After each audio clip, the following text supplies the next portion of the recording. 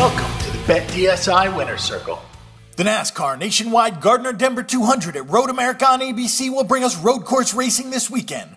The race has been very unpredictable in the past, so there is no clear cut favorite on Saturday. Because the Sprint Cup Series is in California on Sunday, there are no Sprint Cup ringers who will be doing double duty this weekend. That should give drivers like Regan Smith and Elliott Sadler a good chance to win this race. When it comes to road course racing, you always have to consider the ringers who are brought in only for the road courses. One of those drivers who should contend is Alex Tagliani. He will be driving twice in the Nationwide Series this season, and he also got the race at Mid Ohio Sports Car Course in August.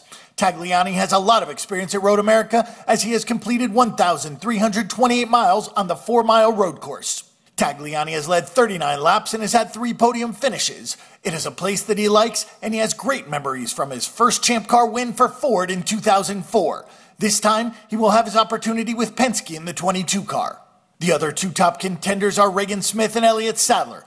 Both drivers are fighting for the points lead in the NASCAR Nationwide Series. Sadler has just one top five finish at Road America, and he really enjoys the opportunity to get away from oval racing.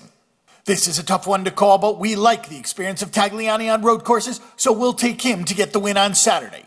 Check out all the latest NASCAR and motorsports odds at betdsi.com. Make a few wagers, and we'll see you in the winner's circle.